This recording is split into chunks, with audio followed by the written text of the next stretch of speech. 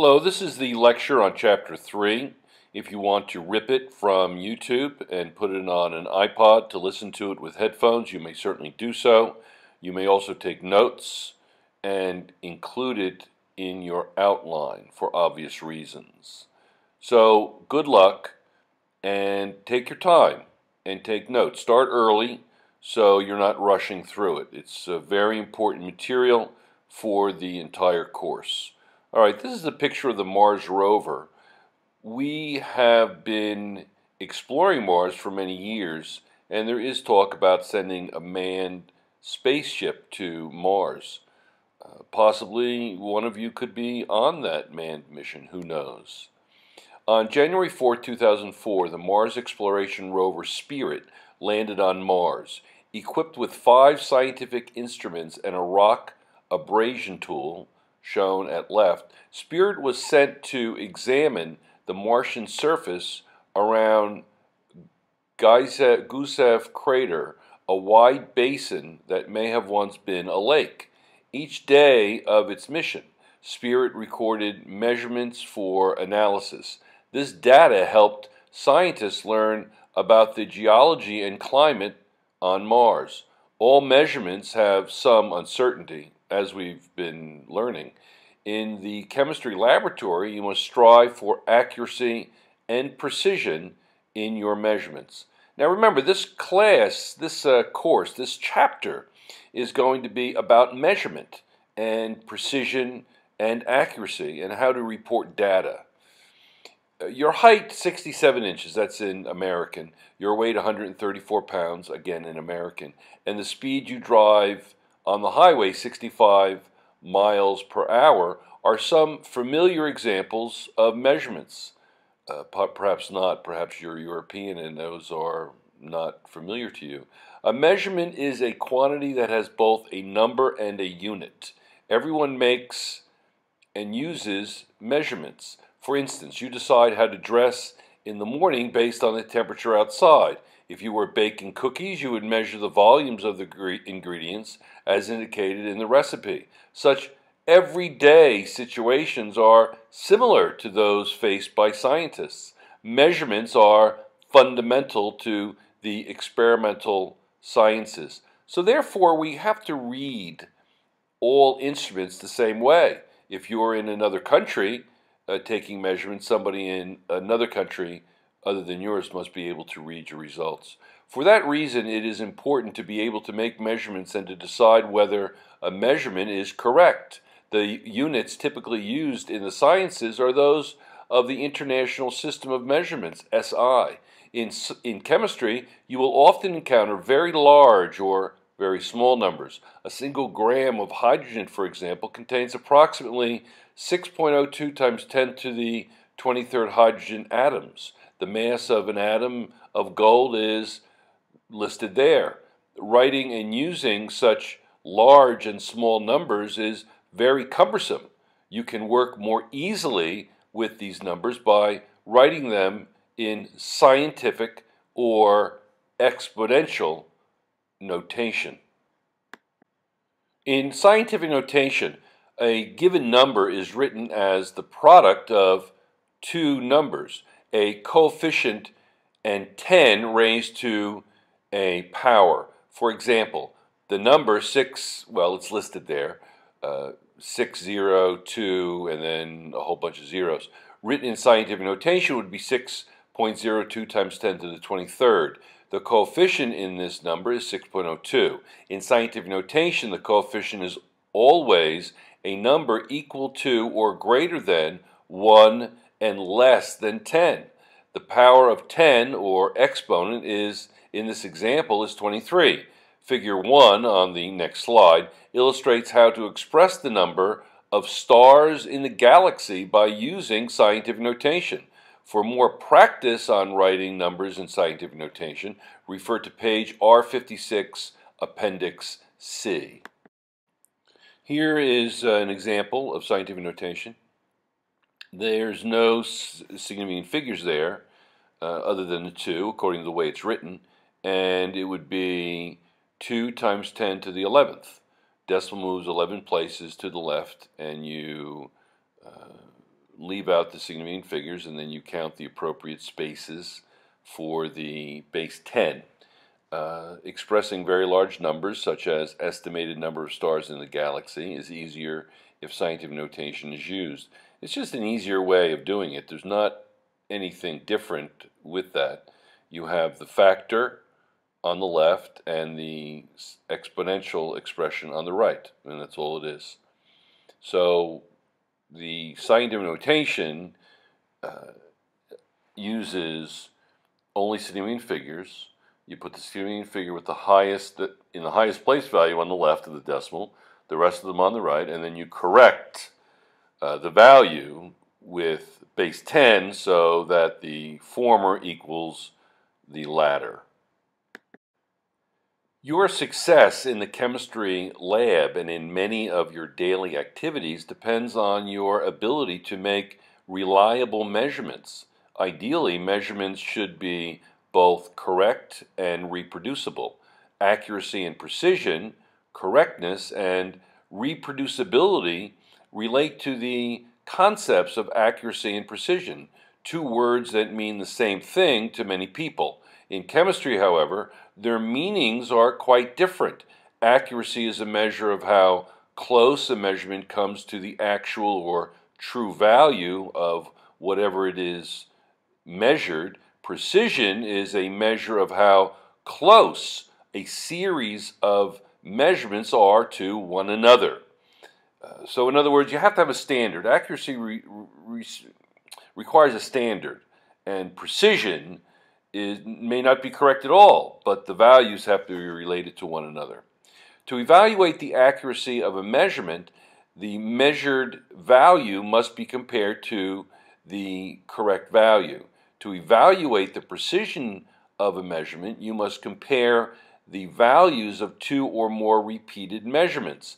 Darts on a dartboard illustrate accuracy and precision in measurement let the bullseye of the dartboard represent the true or correct value of what you are measuring. The closeness of a dart to the bullseye corresponds to the degree of accuracy. The closer it comes to the bullseye, the more accurately the dart was thrown. The closeness of several darts to one another corresponds to the degree of precision.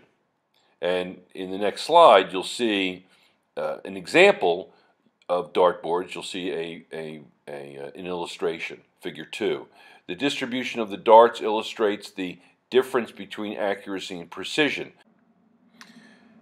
Figure 2, the distribution of darts illustrates the difference between accuracy and precision. A, good accuracy and good precision the darts are close to the bullseye and to one another.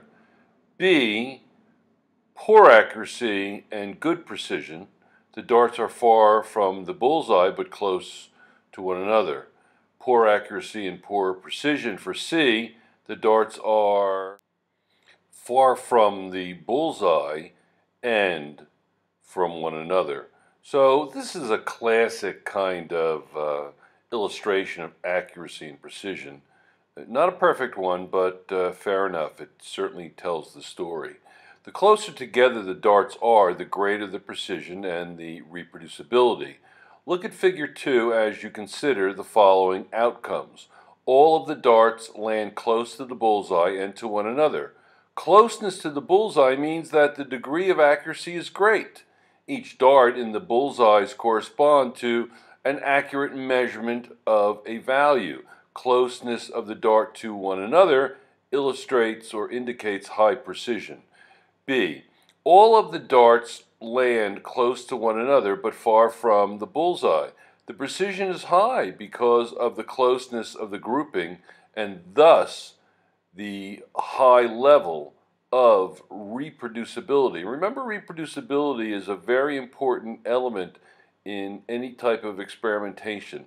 People who want to verify your results hopefully will reproduce those results and the verification is, is there.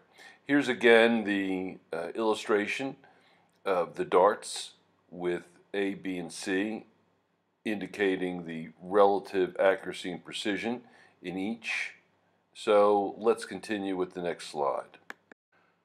The results are inaccurate, however, because of the distance of the darts from the bullseye. C. The darts land far from one another and from the bullseye. The results are both inaccurate and imprecise. Determining error, note that an individual measurement may be accurate or inaccurate. Suppose you use a thermometer to measure the boiling point of pure water at standard pressure the thermometer reads 99.1 degrees Celsius. You probably know that the true or accepted value of the boiling point of water under these conditions is actually 100 degrees Celsius. There is a difference between the accepted value, which is the correct value based on reliable references, and the experimental value, the value measured in the lab. The difference between the experimental value and the accepted value is called the error. And there's the equation. Error equals experimental value minus accepted value. Error can be positive or negative depending on whether the experimental value is greater than or less than the accepted value. For the boiling point of water, the error is going to be negative 0.9 degrees Celsius. The error, however, is going to be an absolute value. Uh, error is absolute value. We don't really say that it has negative or positive uh, value. We just simply say that it's absolute and that we're just looking at the magnitude or the difference uh, and no sign needed. The magnitude of the error shows the amount, again, the magnitude, not the direction, of the error shows the amount by which the experimental value differs from the accepted value. Often it is useful to calculate the relative error or percent error. The percent error is the absolute value of the error, that's what I said, divided by the accepted value multiplied by 100%, and that's going to equal the percent or relative error. Using the absolute value of the error means that the percent error will always be a positive value. For the boiling point measurement, the percent error is calculated as follows. Here is the uh, percent error continued. So it's going to be the absolute value of the difference in the theoretical and the observed or theoretical and the experimental divided by 100 times 100 and that's going to equal 0.9% just because a measuring device works doesn't necessarily mean that it is accurate. As figure 3 shows, a weighing scale that does not read zero when nothing is on it is bound to yield error. In order to weigh yourself accurately, you must first make sure that the scale is zeroed. We always zero scales in, uh, in chemistry we make sure that it's reading from zero, uh, and then we can proceed. So the next slide is going to illustrate this fact, and what you want to do is uh, the left scale, if it's not zeroed, then the right scale will be inaccurate. So it's the error is 10 uh, kilograms, so or 10 pounds, whatever the case may be. The scale below has not been properly zeroed, so the reading obtained for the person's weight is inaccurate. There is a difference between the person's correct weight and the measured weight.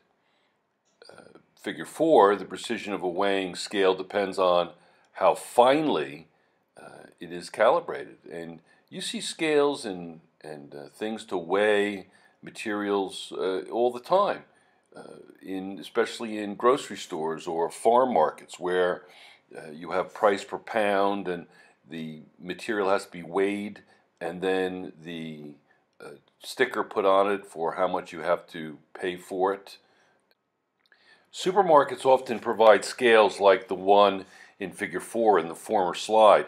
Customers use these scales to measure the weight of produce that is price per pound. If you use a scale that is calibrated in 0.1 pound intervals, you can easily read the scale to the nearest tenth of a pound. With such a scale, however, you can also estimate the weight to the nearest hundredth of a pound by noting the position of the pointer between calibration marks. That's the estimated place value. Suppose you estimate a weight that lies between 2.4 pounds and 2.5 pounds to be 2.46 pounds. The number in this estimated measurement has three digits. The first two digits in the measurement, 2 and 4, are known with certainty. And it's going, you're going to see in the next slide that the 6 is known with uncertainty.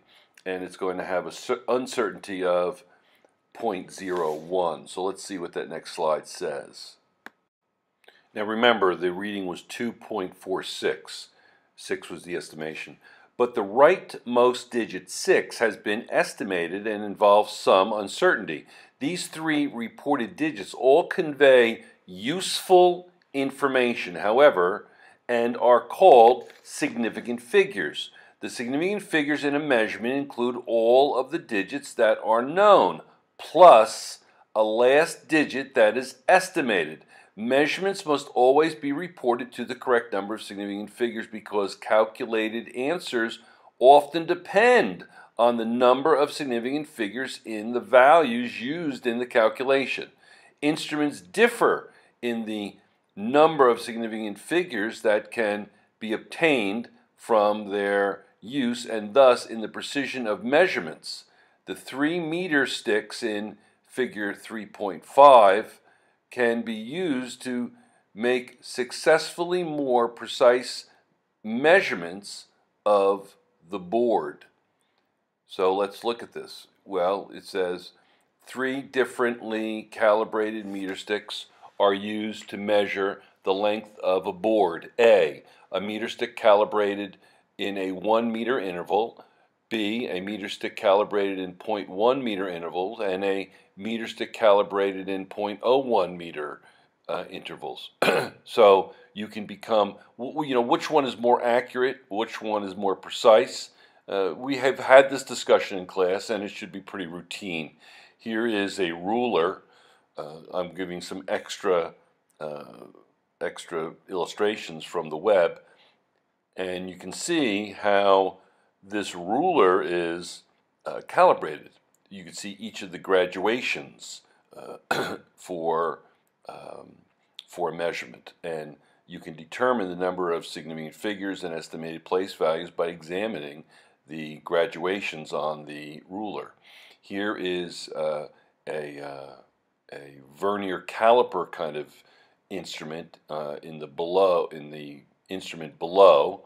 Here we have a ruler in centimeters and uh, it's divided into millimeters and then tenth of a millimeter or hundredth of a centimeter you can be you can measure with the top uh, illustration.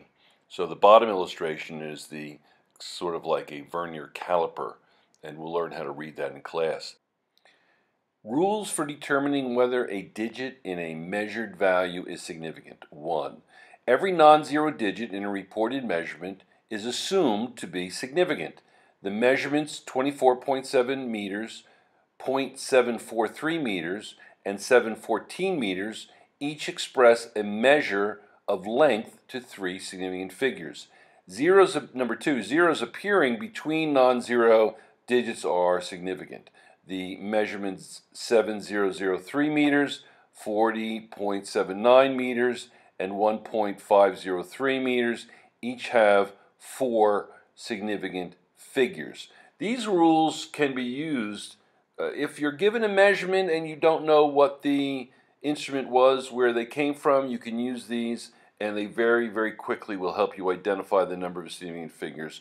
Uh, these are just the first two of several rules. So let's look at the rest of the rules. And number three, uh, leftmost zeros appearing in front of non-zero digits are not significant. They act as placeholders. The measurements 0.0071 meters, 0.42 or 0.42 meter, and 0.000099 meters each have only two significant figures. The zeros to the left are not significant. By writing the measurements in scientific notation, you can eliminate such placeholder zeros, place holding zeros. In this case, uh, it would be 7.1 times 10 to the negative 3 meters, 4.2 times 10 to the negative 1 meter, and 9.9 times 10 to the negative 5 meters. You can see that in scientific notation, they only use the significant figure, so it's not going to be a problem uh, when illustrating that fact. Now, number four, zeros at the end of a number and to the right of the decimal point are always significant. The measurements 43.00 meters, 1.010 meters, and 9.000 meters each have four significant figures. Number five, zeros at the rightmost end of a measurement that lie to the left of an understood decimal point are not significant if they serve as placeholders to show the magnitude of the number or the magnitude of the significant figures. So those are placeholders. And you can also use scientific notation to illustrate the fact that uh, the number can be expressed uh, without those placeholders or without insignificant figures. Zeros in the measurements 300 meters, 7,000 meters, and 27,210 meters are not significant. The numbers of the number of significant figures in these values are 1, 1, and 4 respectively. If such zeros were known measured values, however, then they would be significant. For example, if all of the zeros in the measurement 300 meters were significant, writing the value in scientific notation would be 3.00 times 10 to the 2 meters, makes it clear that these zeros are significant. Uh, it's, however, not the case. So it would be written 3 times 10 to the 2 meters as 300 is written above. So uh, there's one more rule, and uh, that's number six. Number six says there are two situations in which numbers have an unlimited number of significant figures. The first involves counting. If you count 23 people in your classroom, then there are exactly 23 people, and this value has an unlimited number of significant figures. The second situation involves exactly defined quantities such as those found with a system of measurement. When, for example, you write a conversion, 60 minutes equals one hour, or 100 centimeters equals one meter. Each of these numbers has an unlimited number of significant figures, and you shall soon see exact quantities do not affect the process of rounding an answer to the correct number of significant figures. That's going to become very important when we look at calculations involving addition, subtraction, and then multiplication, division. Significant figures in calculations. Suppose you use a calculator to find the area of a floor that measures 7.7 meters by 5.4 meters the calculator would give an answer of 41.58 square meters. The calculated area is expressed to four significant figures. However, each of the measurements used in the calculation is expressed to only two significant figures. So the answer must also be reported to two significant figures, or 42 meters squared. In general, a calculated answer cannot be more accurate or more precise than the least accurate or least precise measurement from which it was calculated. The calculated value must be rounded to make it consistent with the measurement from which it was calculated. And we'll see the rules for calculating multiplying uh, operations. Uh, to round a number, you must first decide how many significant figures the answer should have the decision depends on the given measurements and on the mathematical process used to arrive at the answer.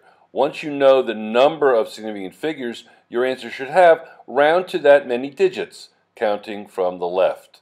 If the digit immediately to the right of the last significant digit is less than 5, it is simply dropped and the value of the last significant digit stays the same. If the digit in question is 5 or greater, the value of the digit in the last significant place is increased by 1 a very basic way of rounding, common, you should be very used to that style of rounding uh, before this year. Here's a sample one, rounding measurements, round off each measurement to the number of significant figures shown in parentheses, write the answers in scientific notation. Uh, very simple, uh, 314.7, 0.001, uh, eight, and then eight seven would be eight eight. So eight eight zero zero, and that would be two significant figures. And, and we'll see how that works here. So you can see um, solve, apply uh, the concepts to this problem. Count from the left and apply the rule to the digit immediately to the right of the digit to which you are rounding. The arrow points to the, to the digit immediately following the last significant digit. So you're going to round to the 7 so it'll be 314.7. In scientific notation, it would be 3.147 times 10 to the 2 because it's 304. So you'd multiply it by 100. So the correct uh, base 10 would be 10 squared. Now, I'm just going to let you look at the next. I'm just simply pointing to the rounding value. Uh, the 7's going to round the 7 up and so it'll be 1.8 times 10 to the 3, or that should actually be negative 3, and then the next will be uh, you're rounding the not the 7 up, so it will be 8.8 times 10 to the 3 meters, and uh, that concludes A, B, and C. Converting between metric units. Express 750, 750 decigrams in grams. Multiply the above conversion by 50 grams copper gives the approximate answer of 25 students, which is close to the calculated answer. So it's going to be one student per two grams of copper. Now, let's look at another problem addition and subtraction. This is a different method. We uh, addition and subtraction is different from multiplication division.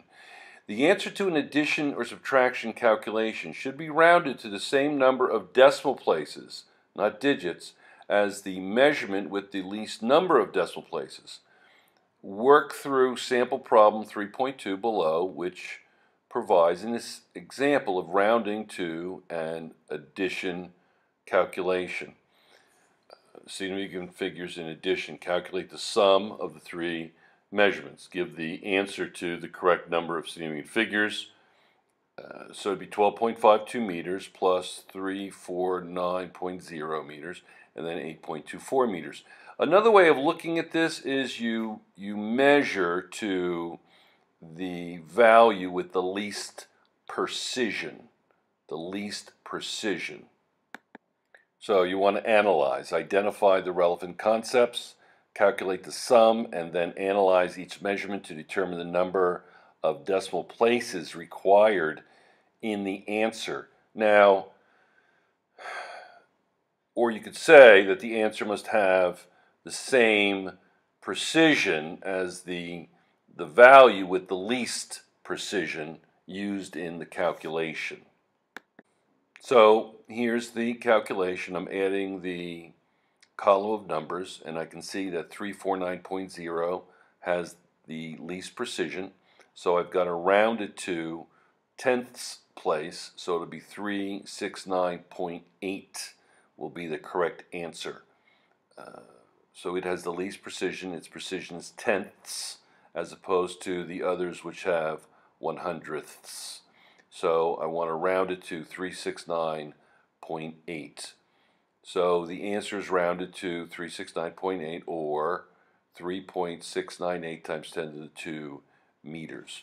Notice how I'm rounding And notice that the rounding has not only the correct answer, but it only has one significant figure to the left of the decimal place, and that is true scientific notation as opposed to plain everyday exponential notation. Okay, next. Multiplying, multiplication and division. In calculations involving multiplication and division, you need to round the answer to the same number of significant figures as the measurement with the least number of significant figures. The position of the decimal point has nothing to do with the rounding process when multiplying and dividing measurements. The position of the decimal point is important only in rounding the answers of addition and subtraction. The position of the decimal point is, is important only in rounding relative to addition and subtraction. Let me read that last sentence again. The position of the decimal point is important only in rounding the answers of addition or subtraction problems. Multiplication works with the number of, least number of significant figures, addition and subtraction, least number of decimal places.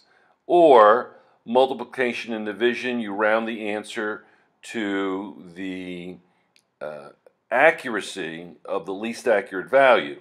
Now, the least accurate value is determined by the value with the least number of significant figures. So, in addition to subtraction, it's least number of decimal places or least precise value in multiplication and division, it's the least number of significant figures or the least accurate value. So some practice problems, significant figures in multiplication and division, perform the following operations, give the answers to the correct number of significant figures. So A is going to be 7.55 times 0.34, 2.10 times 0.70, and 2.4526 divided by 8.4. So again, it's the least accurate or the least number of significant figures. So you're going to round all of them to two significant figures. Okay, analyze, identify the relevant concepts, uh, perform the required math operation, and then analyze each of the original numbers to determine the correct number of significant figures required in the answer. Pretty straightforward multiplication and division. It's just the least number of significant figures in a measurement, that's what you round it to, uh, or least accurate, whatever the case may be. You see, you can't you can't use 20 instruments used to find the cure for cancer, and then in terms of measuring length, you use a Birkenstock sandal. The accuracy or precision of your any calculation you perform is limited by that weak link that that sandal. So you could have used billions of dollars of instrumentation, and your your answer is only as good as the as the worst instrument used to do to spend years doing all of these experiments. Very important. So it says round the answers to match the measurement with the least number of significant figures or the least accurate. Well, A, 0.34 is the least accurate and has two significant figures, so the answer would be 2.6 meters squared. B, 0.70 meters has two significant figures, so the answer would be 1.5 meters squared. Remember, you round to the number of significant figures in the least accurate value.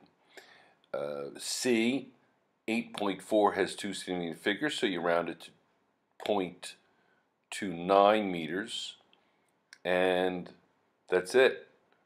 Now, uh, let's continue. That's only the end of section 3.1. I'm not even sure we're completely finished with 3.1. But addition and subtraction, you round to the least precise, and multiplication and division, you round to the least accurate. Now here are some mile markers. They are specific. They are uh, they have as many significant figures as you want them to have. Carrington is 44 miles specifically. Uh, but how was that measured? Was that measured with a tape, with an odometer? Is it uh, as significant as one might think? Well, it depends on how it was measured. Are we there yet? The International System of Units. You may have asked this question during a long road trip with your family or friends. To find out how much farther you have to go, you can read the roadside signs that list destinations and their distances. In the sign shown here, or in the previous slide, however, the distances are listed in numbers with no units attached. Is Carrington 44 kilometers or 44 miles? Without the units, you can't be sure. When you make a measurement, you must assign the correct units to the numerical values. Without the units, it is impossible to communicate the measurement clearly to others. Let's read that again. Is Carrington 44 kilometers or 44 miles away? Without the units, you can't be sure. When you make a measurement, you must assign the correct units to the numerical value. Without the units, it is impossible to communicate the measurement clearly to others. You will receive zero credit for an answer if it's not identified with the correct units. So please beware. All measurements depend on units that serve as reference standards. The standards of measurement used in science are those of the metric system. The metric system is important because of its simplicity and ease of use. All metric units are based on multiples of 10. As a result, you can convert between units easily. The metric system was originally established in France in 1795 the International System of Units, abbreviated SI after the French name Le Système International des Units, is a revised version of the metric system. The SI was adopted by international agreement in 1960. There are seven SI base units which are listed in Table 1. So that's the, pardon me for my mispronunciation of the French, but it's the International System of Units. And here is Table 1, SI base units. And you can see we have length, mass, temperature, time, amount of substance, that's mole, luminous intensity, that's candela, CD, and electric current, which are in ampere, and the symbol is A, that's the amount of current. So you have meter, kilogram, Kelvin, seconds, moles, candela, and ampere. From these base units, all other SI units are measured can be derived. The five SI base units commonly used by chemists are the meter, the kilogram, the Kelvin, the second, and the mole. All measured quantities can be reported in SI. These are, by the way, the standard units, not the derived ones. Sometimes, however, non-SI units are preferred for convenience or for practical reasons. In this textbook, you will learn about both SI and non-SI units. America uses a lot of non-SI units, by the way. As you already know, you don't measure length in kilograms or mass in centimeters. Different quantities require different units. Before you make a measurement, you must be familiar with the units corresponding to the quantity that you are trying to measure. Units of length, size, is an important property of matter. The SI, the basic unit of length or linear measure, is the meter. All measurements of length can be expressed in meters. The length of a page in this book or the screen that you're looking at on your computer is about one fourth of a meter. For very large and very small lengths, however, it may be more convenient to use a unit of length that has a prefix. Table 2 lists the prefixes in common use. For example, the prefix milli means one thousandth. So the millimeter is one thousandth of a meter or 0.001 the hyphen measures about one millimeter. Here's a table of commonly used metric prefixes that you should write down uh, in your notes for your test. You're going to need these.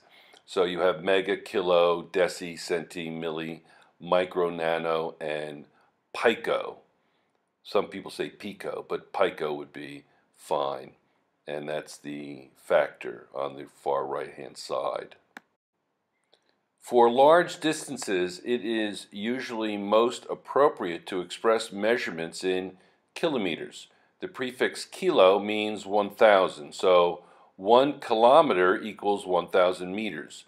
A standard marathon distance race of about 42,000 meters is more conveniently expressed as 42 kilometers, 42 100 meters. Common metric units of length include the centimeter, the kilometer. Table 3 summarizes the relationships among metric units of length. Units of volume. The, the space occupied by any sample of matter is called its volume. You calculate the volume of any cubic or rectangular solid by multiplying its length with by its height and the volume is a derived unit as a result. the unit of volume is thus derived from units of length. The SI units of volume is the amount of space occupied by a cube that is one meter along each edge. This volume is a cubic meter. An automatic dishwasher has a volume of about one cubic meter. A more convenient unit of volume for everyday use is the liter, a non-SI unit. A liter is the volume of a cube that is 10 centimeters along each side. 10 by 10 by 10, that's 1,000 cubic centimeters or 1 liter. A decimeter is equal to 10 centimeters, so 1 liter is also equal to 1 cubic decimeter. A smaller non-SI unit of volume is the millimeter. One milliliter is one thousandth of a liter. Thus, there are 1,000 milliliters in one liter. Here is uh, figure 6, 3.6. These photographs above give you some idea of the relative sizes of some different units of volume. A, the volume of 20 drops of liquid from a medicine dropper is approximately 1 milliliter. B, a sugar cube is about 1 centimeters on each side and has a volume of about approximately 1 cubic centimeter. A sugar cube uh, is, again, 1, one centimeters on each side and is a cubic centimeter. That's the same thing as a milliliter, by the way. Note that one milliliter is about the same as one cubic centimeter. A gallon of milk has about twice the volume of a two liter bottle of soda, approximately eight pounds as well. May want to try to convert that to kilograms, see if you can understand the relationship between kilograms and pounds. Because one liter is defined as 1,000 cubic centimeters, one milliliter is one milliliter and one cubic centimeter are the same volume. The units milliliter and cubic centimeter are thus used interchangeably. Common metric units of volume include the liter, milliliter, cubic centimeter, and microliter. Table 4 summarizes the relationships among these units of volume. There are many devices for measuring liquid volumes, including graduated cylinders, pipettes, burettes, volumetric flasks, and syringes. Note that the volume of any solid, liquid, or gas will change with temperature, although the change is much more dramatic for gases. Consequently, accurate Consequently, accurate volume measuring devices are calibrated at a given temperature, usually 20 degrees Celsius, which is about normal room temperature. That calibration will be very important as we do more and more lab work. Table 4, here we have liter, milliliter, cubic centimeter, microliter, and these are examples of various metric units of volume that Mm, are pretty common in the chemistry world. So this is another uh, chart you might want to put in your notes for your test. I don't give any data from constants or anything else like that for your test. Units of mass. The mass of an object is measured in comparison to a standard mass of one kilogram, which is the basic SI unit of mass. The kilogram was originally defined as the mass of one liter of liquid water at 4 degrees Celsius. Remember, 4 degrees Celsius is important because that's the temperature at which water is most dense. A cube of water at 4 degrees Celsius measuring 10 centimeters on each edge would have a volume of 1 liter and a mass of 1,000 grams, or 1 kilogram. A gram is there, therefore one thousandth of a kilogram. The mass of 1 cubic centimeter of water at 4 degrees Celsius is 1 gram. Common metric units of mass include the kilogram, gram, milligram, and microgram. The relationship among units of mass are shown in Table 5. You can use, let me extend the time here, you can use a platform balance to measure the mass of an object. Well, that was a little bit better. I extended the time. Now here is a table, table 5, again important information. It shows metric units of mass from the kilogram, gram, milligram, and microgram, and the equivalent uh, in either grams or kilograms. And then some examples of each relative to a dollar bill, a small textbook, one kilogram, that must be a very small textbook, 2.2 pounds, 10 grains of salt, etc. The object is placed on one side of the balance. We're talking about a platform balance now. And standard masses are added to the other side until the balance beam is level.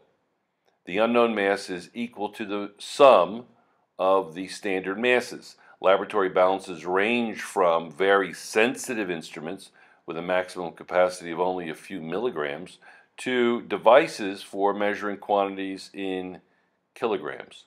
An analytical balance is used to measure uh, objects of less than 100 grams and can determine mass to the nearest 0.0001 or 0.1 milligrams. The astronaut shown on the surface of the moon in figure 7 weighs one sixth of what he weighs on Earth. The reason for this difference is that the force of gravity on Earth is about six times what it is on the moon. So that's why the astronauts can jump, etc., large distances when they go play on the moon. And here is figure 7, an astronaut weight, an astronaut's weight on the moon is one sixth as much as it is on Earth. Earth, Earth exerts six times the force of gravity as the moon does. And we'll study this a bit in physics. We'll study uh, the relationship between mass and weight. Weight includes gravity. Gravity times mass is the weight. Weight is a force that measures the pull on a given mass by gravity. Weight, a measure of force, is different from mass, which is a measure of the quantity of matter. Although the weight of an object can change with its location, its mass remains constant regardless of its location. Objects can thus become weightless, but they can never become massless units of temperature. When you hold a glass of hot water, the glass feels hot because heat transfers from the glass to your hand. When you hold an ice cube, it feels cold because heat transfers from your hand to the ice cube. Temperature is a measure of how hot or cold something is, something we'll study a great deal later. An object's temperature determines the direction of heat transfer. When two objects of different temperatures are in contact, heat moves from the object at the higher temperature to the object at the lower temperature. Almost all substances expand with an increase in temperature and contract as the temperature decreases. A very important exception is water. These properties are the basis for the common liquid in glass thermometer. The liquid in the thermometer expands and contracts more than the volume of the glass, producing changes in the column height of liquid. Figure 8 shows a few different types of thermometers. Several thermometer scales with, with different units have been devised. And we'll do an experiment, uh, we'll do a mathematical experiment with thermometers. Thermometers are used to measure temperature. A, a liquid in glass thermometer contains alcohol or mineral spirits. B, a dial thermometer contains a coiled bimetallic strip.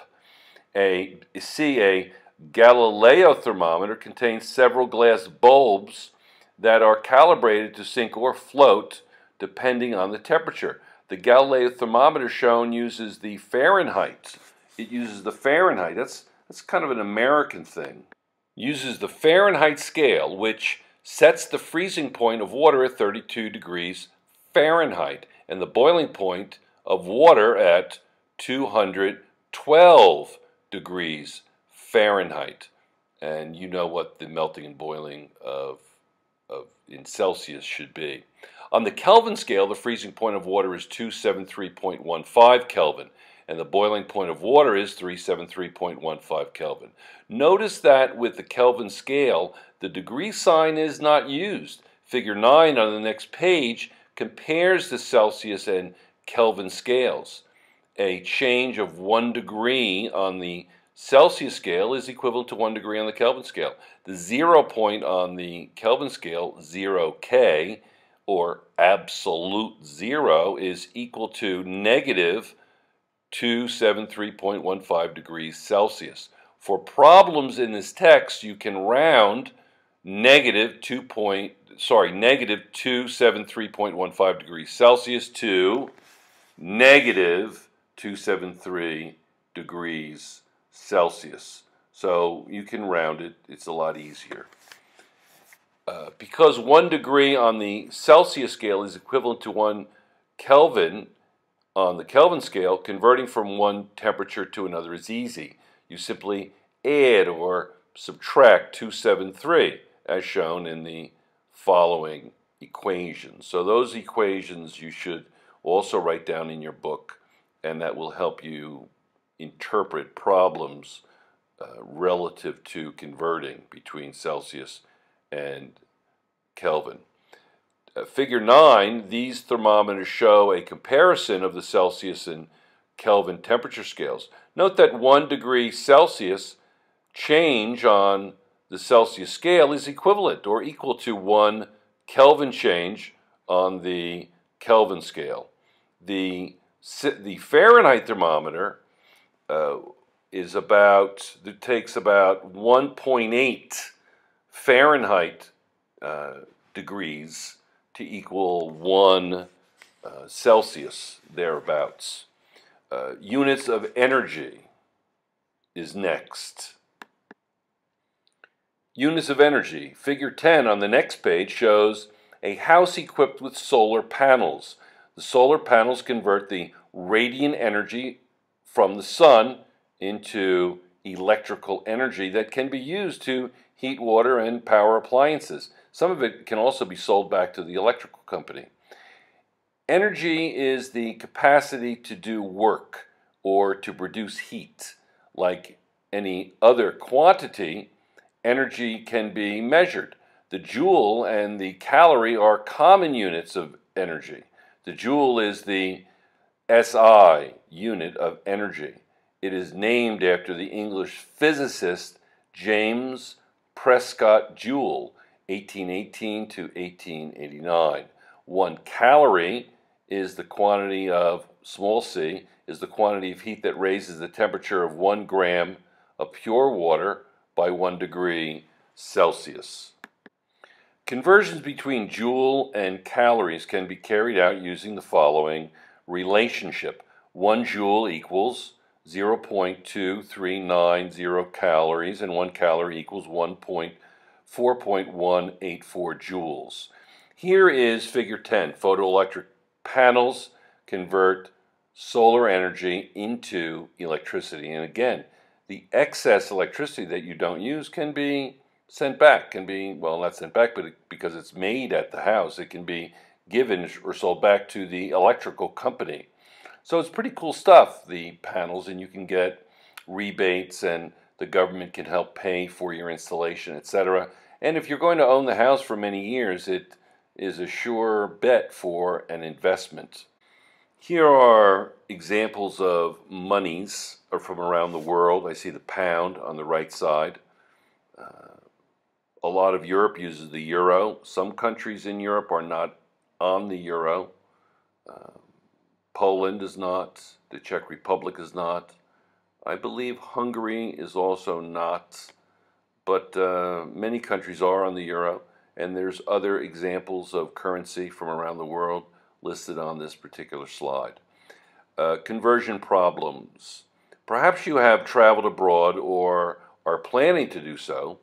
If, if so, you know, or soon will discover, that different countries have different currencies. As a tourist, exchanging money is essential to the enjoyment of your trip. After all, you must pay for your meals, hotel, transportation, gift purchases, and tickets to exhibits and events because each country's currency compares differently with the US dollar.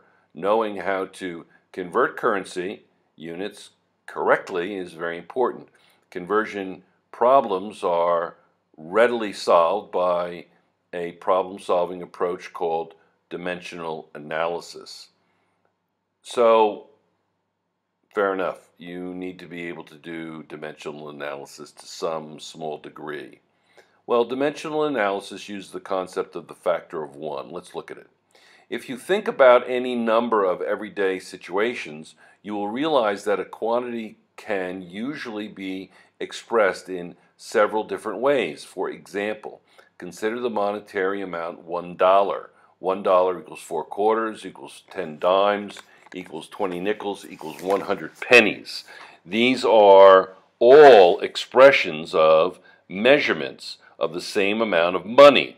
The same thing is true of scientific quantities. For example, consider a distance that is measured exactly one meter. One meter equals 10 decimeters equals 100 centimeters equals 1,000 millimeters. These are different ways to express the same length. Whenever two measurements are equivalent, a ratio of the two measurements will equal 1, or unity.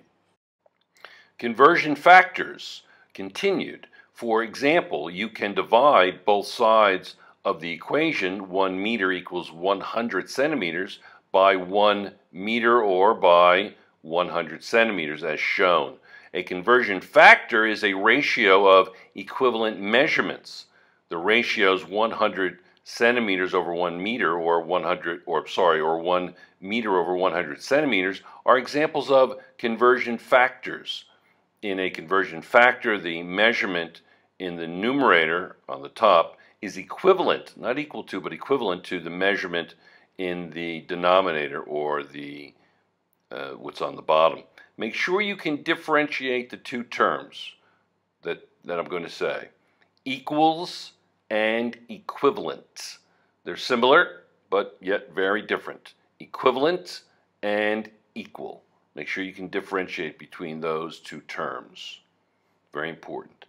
The conversion factors above are read 100 centimeters per meter or 100 meters per 100 centimeters. Figure 11 on the next slide illustrates another way to look at the relationships in a conversion factor. Notice that the smaller number is part of the measurement with the larger unit. That is, a meter is physically larger than a centimeter.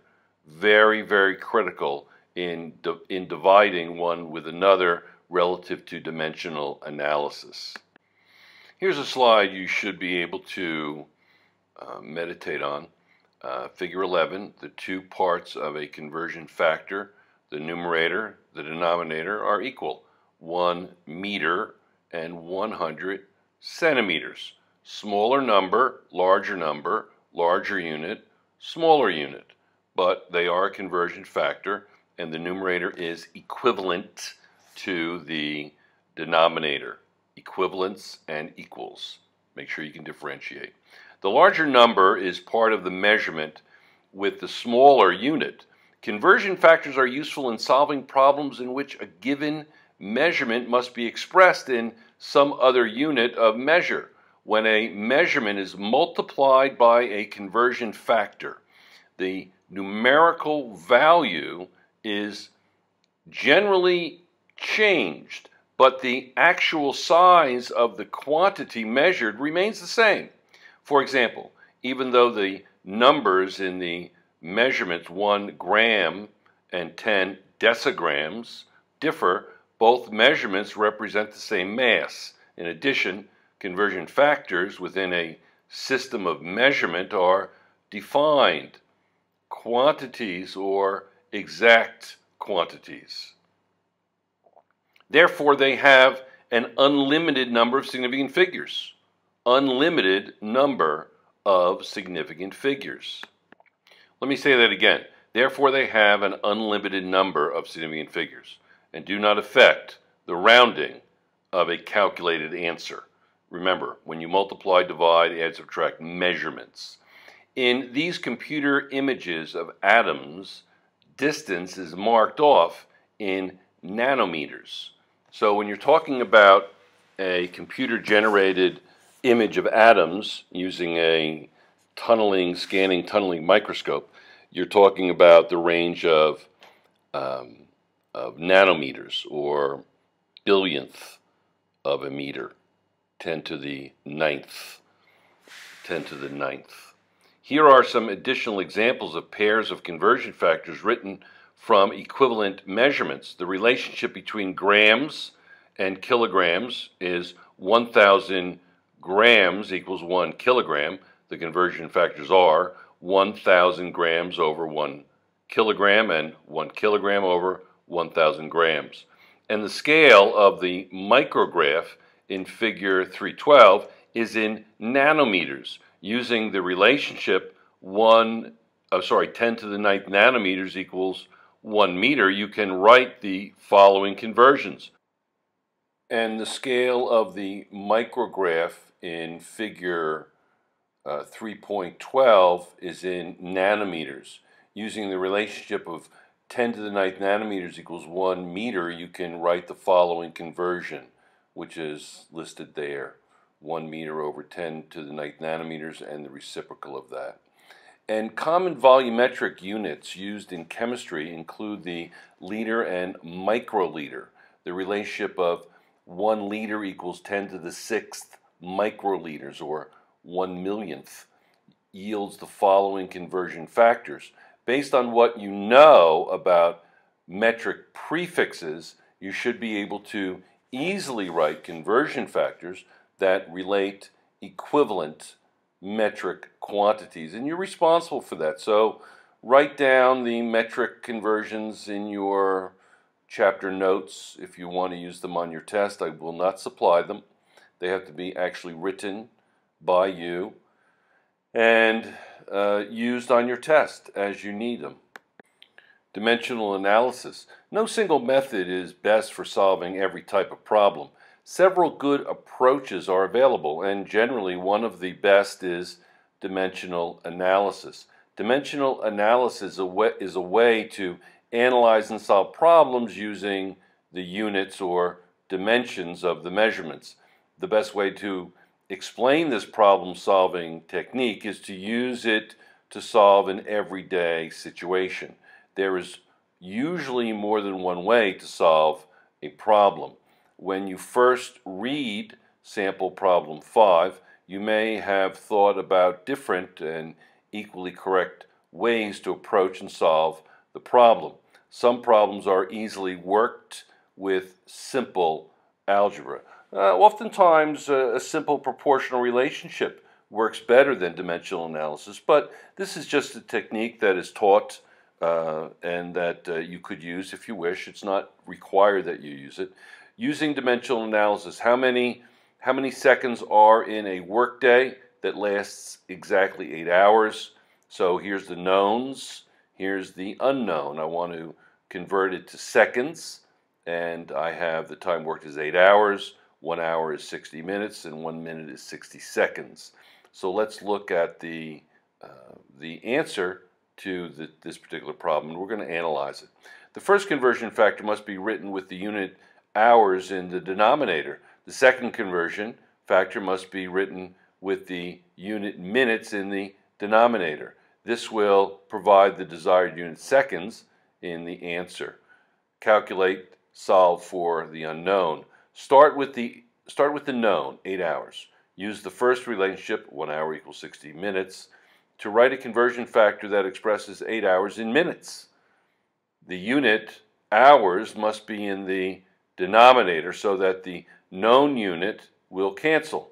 Then use the second conversion factor to change the unit minutes into unit seconds. Or you can just say there's 3,600 seconds in an hour. That's also fine, 60 times 60. Uh, as you get more sophisticated with these problems, you may just cut to the chase and use 3,600 seconds is in one hour. So the conversion factor must have the unit, unit minutes in the denominator. The conversion factors can be used together in a simple overall calculation. So it's 8 hours times 60 minutes over 1 hour times 60 seconds over 1 minute, and that's going to be 28,800 seconds, or 2.8800 uh, times 10 to the fourth seconds. Uh, and why am I uh, why am I using all of those significant figures? Well, I just wanted to uh, to use them. Uh, you could just simply say, well, it's eight hours, so you can only have one, so it would be 30,000 or 3 times 10 to the fourth seconds. But I want to build this little by little for you. So does the result make sense? The answer has the desired unit in seconds. Since the second is a small unit of time, you should expect a large number of seconds in eight hours. So is eight, is eight hours a measurement where you're going to have significant figures? So that's something that should be, uh, should be considered. Okay, before you actually do, do the actual arithmetic, it is a good idea to make sure that the units cancel and that the numerator and denominator of each conversion factor are equal to each other. The answer is exact since the given measurement and each of the conversion factors is exact. So next we're going to look at sample problem 6 using dimensional analysis.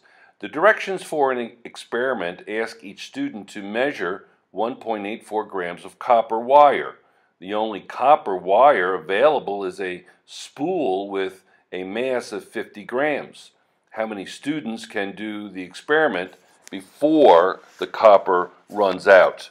So we've got to set up some relationships. What relationships are we going to actually set up so that we can write equivalencies uh, that will cancel and convert to the appropriate units or the appropriate dimensions? Let's read it again. The directions for an experiment ask each student to measure 1.84 grams of copper wire. The only copper wire available is a spool with a mass of 50 grams. How many students can do the experiment before the copper runs out? So let's write some knowns that we have here. The, node, the mass of copper available is 50 grams. Each student needs 1.84 grams of copper or 1.84 grams of copper per student. The unknown is the number of students. From the known mass of copper, calculate the number of students that can do the experiment by using the appropriate conversion factor.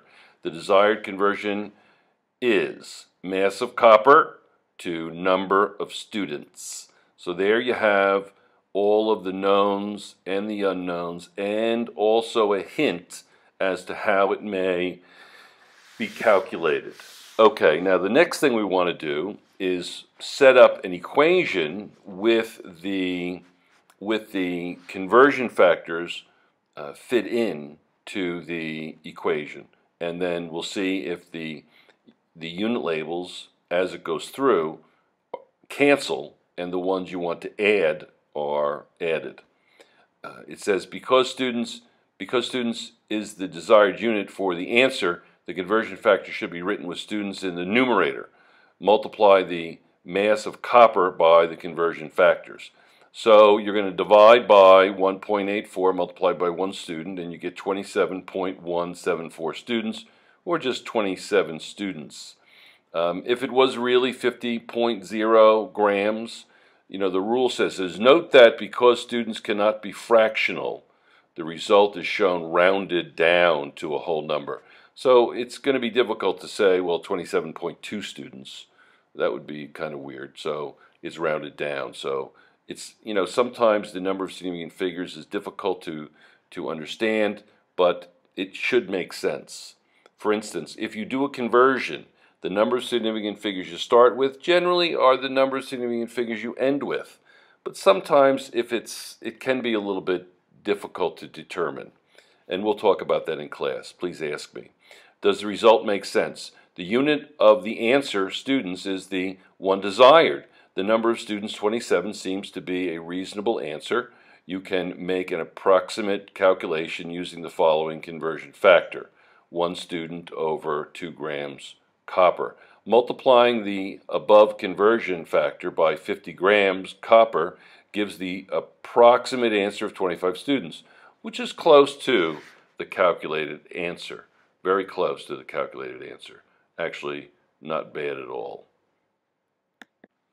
Dimensional analysis provides you with an alternate approach to problem solving. In either case, you should choose the problem solving method that works best, converting between units. In chemistry, as in many other subjects, you often need to express a measurement in a unit different from the one given or measured initially. Problems in which a measurement with one unit is converted to an equivalent measurement with another unit are easily solved using dimensional analysis. Suppose that a laboratory experiment requires 7 decigrams of magnesium metal and 100 students will do the experiment. So what does that mean? So let's look at the next slide to see if we can make sense of that. How many grams of magnesium should your teacher have on hand? multiplying 100 students by 7.5 decigrams per student gives you 750 decigrams. But then you must convert decigrams to grams. Sample problem 7 shows you how to do the conversion. Multi-step problems. Many complex tasks in your everyday life are best handled by breaking them down into manageable parts. For example, if you were cleaning a car, you might first vacuum the inside, then wash the exterior, then dry the exterior, and finally put a fresh coat of wax on.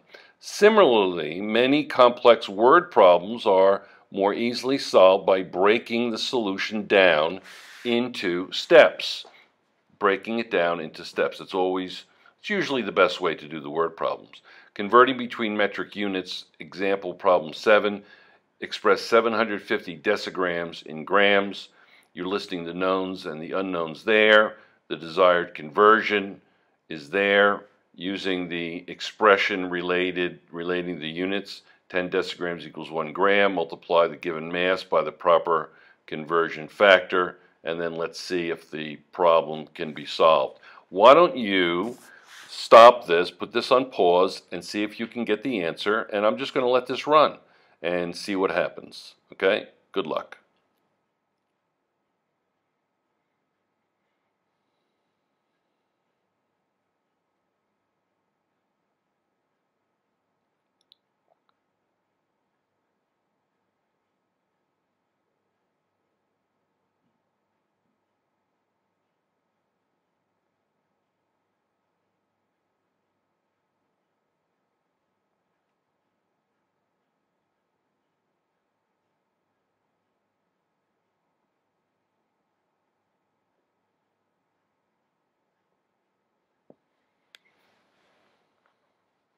All right, the correct answer is 75 grams. The decigrams cancels. I'm multiplying it by the conversion factor of 1 gram over 10 decigrams. Decigrams in the denominator. Evaluate, does the result make sense? Because the unit gram represents a larger mass than the unit decigram, it makes sense that the number of grams is less than the number given number of decigrams. The unit of the known decigram cancels, and the answer has the correct unit G. The answer also has the correct number of significant figures. Remember, in a conversion, the number of significant figures you begin with is, are the number you end with unless there's some other reason that might, that might negate that. When converting between units, it is often necessary to use more than one conversion factor. Sample problem 8 illustrates the use of multiple conversion factors. Converting complex units. Many common measurements are expressed as a ratio of two units. For example, the results of international car races often give average lap speeds in kilometers per hour. You measure the densities of solids and liquids in grams per cubic centimeter. You measure the gas mileage in a car in miles per gallon of gasoline. Difficult for an international student to use uh, books like this because it's they're very American measurements, some of them in terms of the examples. But anyway, a, a, gallon is about four liters, and a mile is uh, 1.6 kilometers. Uh, converting between metric units. What is 0.073 centimeters in micrometers? That's Sample problem 3.8. Analyze, list the knowns and the unknowns. Everything is there. The desired conversion is from centimeters to micrometers. The problem can be solved in a two-step conversion. As the plot thickens, we go from one step to two steps. And there it is. You're going to convert from centimeters to meters. I call it kind of like going back to the origin and then you're going to go from meters to micrometers.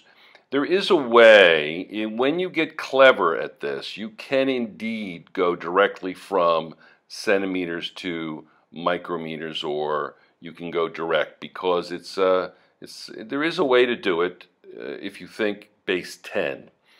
Because a micrometer is much smaller unit than a centimeter, the answer should be numerically larger numerically larger than not not not this not bigger but equivalent but it looks larger.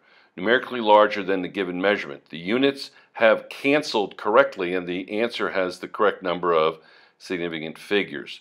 If you use dimensional analysis converting these complex units is just as easy as converting simple units it will take multiple steps to arrive at an answer. Converting ratios of units, sample problem 3.9. The mass per unit volume of a substance is a property called density. The density of manganese, a metallic element, is 7.21 grams per cubic centimeter. What is the density of manganese expressed in units kilograms per cubic meter. Kilograms per cubic meter. Okay, here are the knowns and the unknowns. The desired conversion is grams to grams per cubic centimeter to kilograms per cubic meter.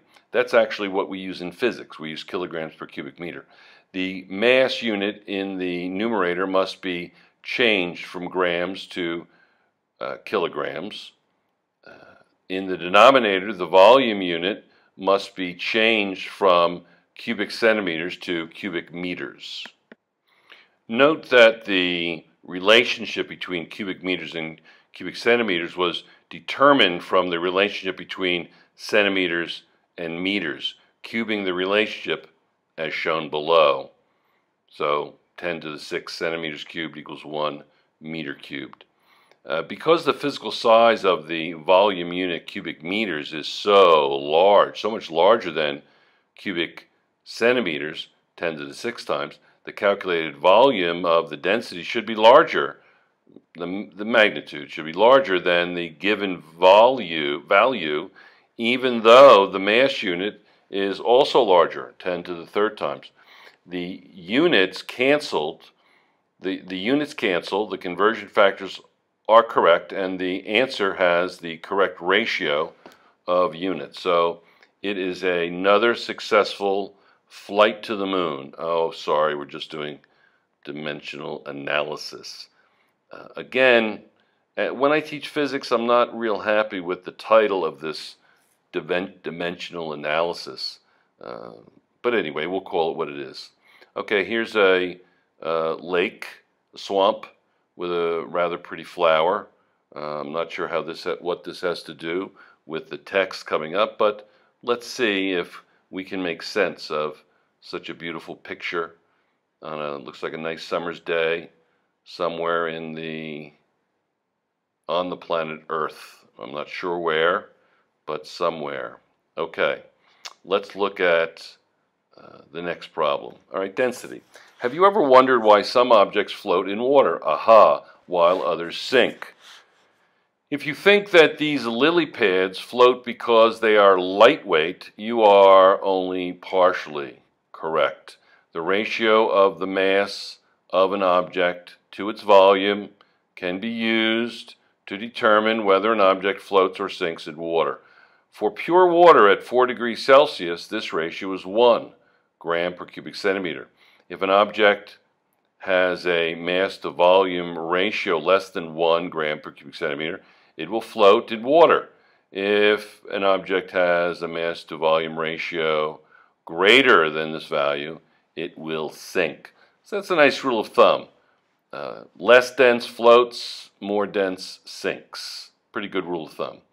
Now, determining density. Perhaps someone has tricked you with this question. Which is heavier, a pound of lead or a pound of feathers? Most people would not give the question much thought and would incorrectly answer lead. Of course, a pound of lead has the same mass as a pound of feathers if it's on the same planet in the same latitude or the same height above the earth. What concept instead of mass are people really thinking of when they answer this question? Most people are incorrectly applying a perfectly correct idea, namely that if a piece of lead and a feather of the same volume are weighed, the lead would have a greater mass than the feather it would take a much larger volume of feathers to equal the mass of a given volume of lead.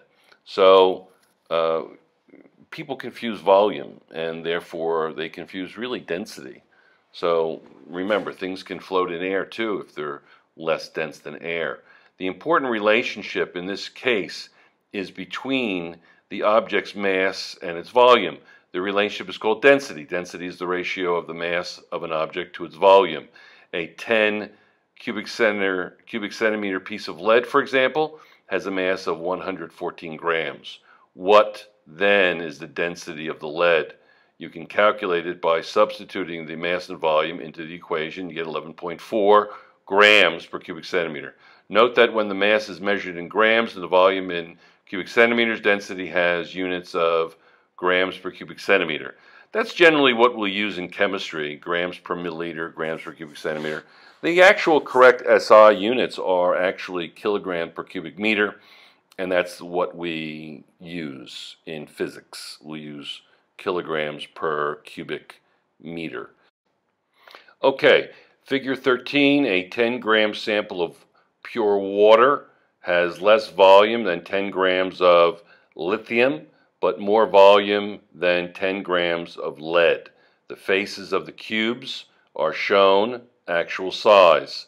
Here I have uh, 10 grams of lithium has a large volume, so it's not very dense. Uh, 10 grams of water, and then 10 grams of lead. So do the math. Note that when the mass is measured in grams, the volume in cubic centimeters Density has units of grams per cubic centimeter. Figure 13 on page 89 compares the density of three substances. Why does each 10 gram sample have a different volume? The volumes vary because the substances have different densities. Density is an intensive or characteristic physical property that depends only on the composition of the substance, not on the size of the sample. With a mixture, density can vary because the composition of a mixture can vary. What do you think will happen if corn oil is poured into a glass containing corn syrup? Using table 6, you can see that the density of corn oil is less than the density of corn syrup.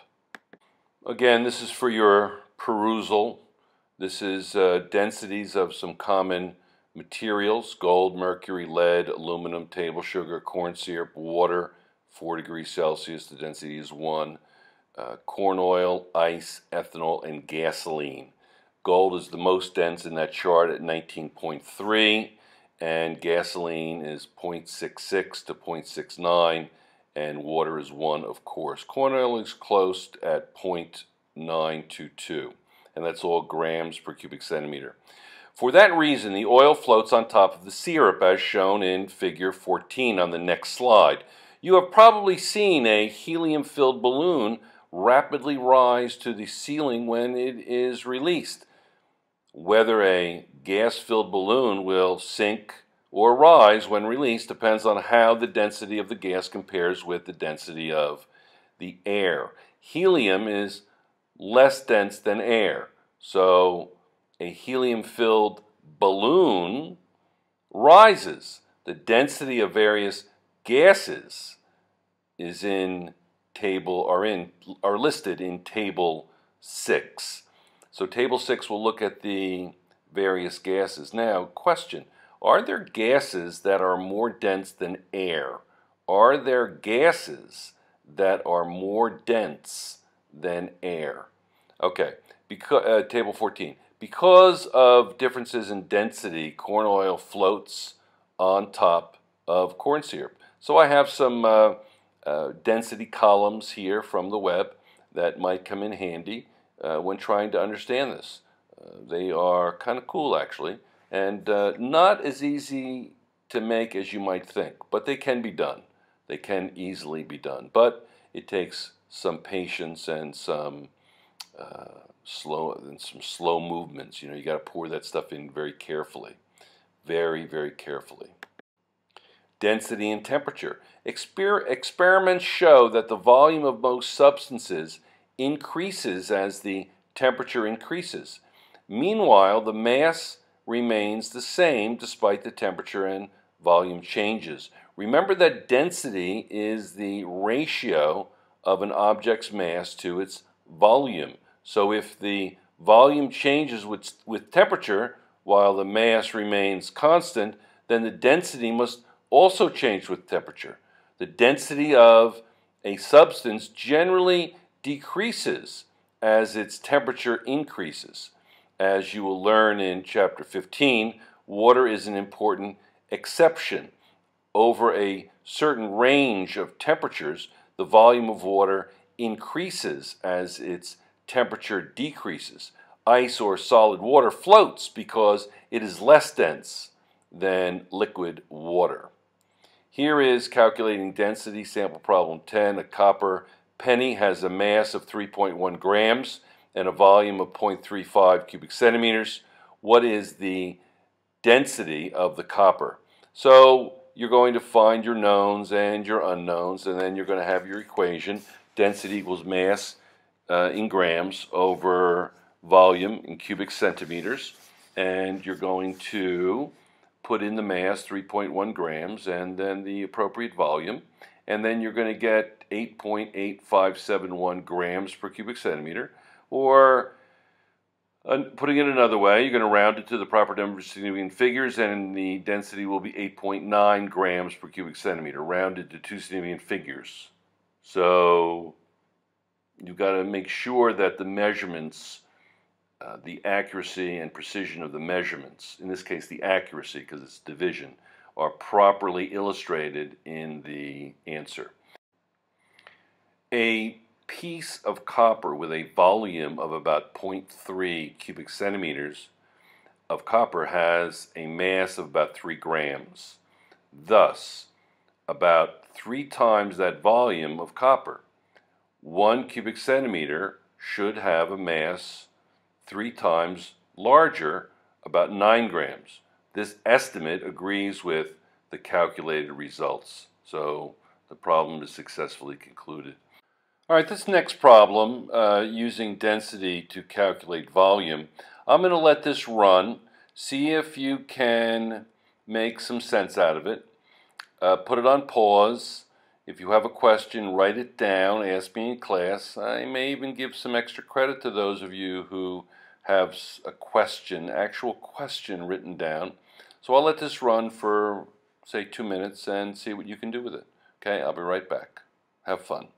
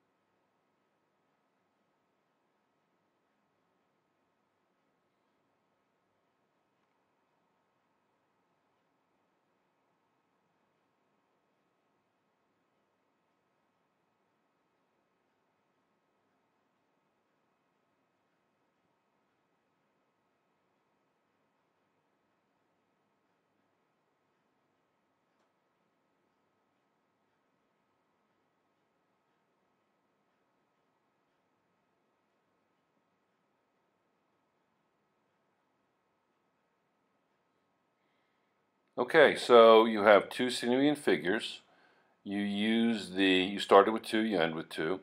You use the reciprocal of the density because you want to uh, cancel mass. And you're left with 1.3 cubic centimeters. So very straightforward. Uh, easy. What I did was I kind of did it both ways. I used simply simple division uh, and uh, did it that way. So. Either way, it's fine.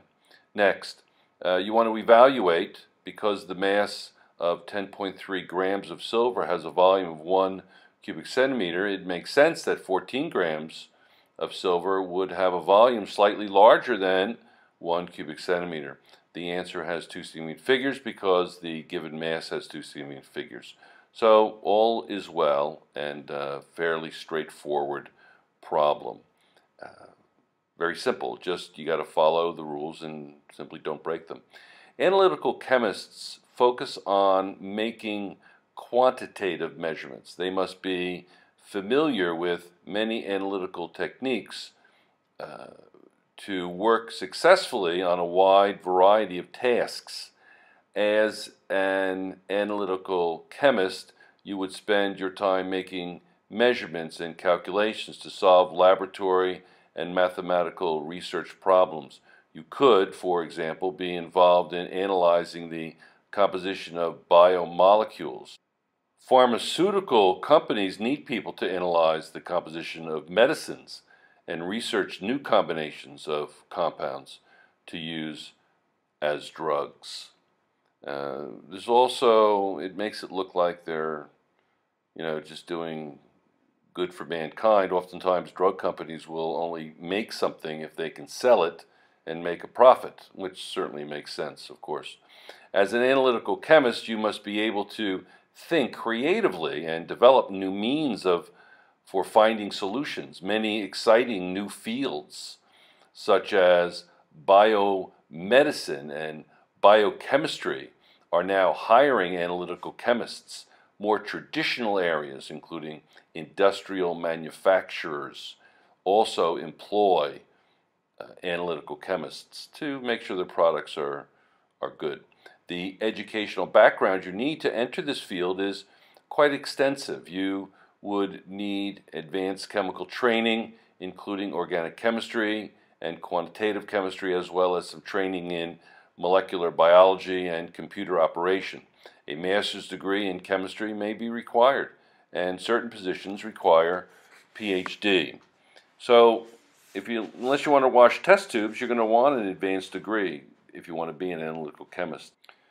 That concludes the lecture. Everything you need to do well in this unit is uh, on the web, and uh, good luck. And um, make sure that you write down questions if you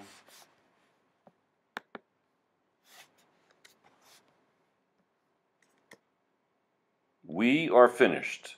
Everything that you need to be successful is made available to you. And if you write down questions that you have and you show me the source of those questions, I will give you extra credit. Let me say that again. If you write down questions about information you don't understand and show me the source of those questions, I shall give you extra credit.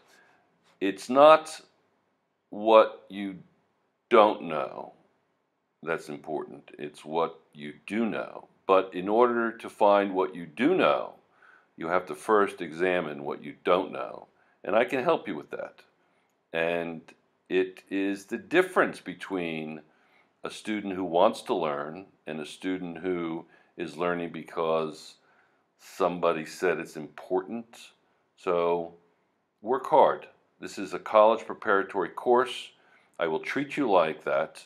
However, I will grade you as a high school student. But it's important to challenge yourself in every unit in chemistry.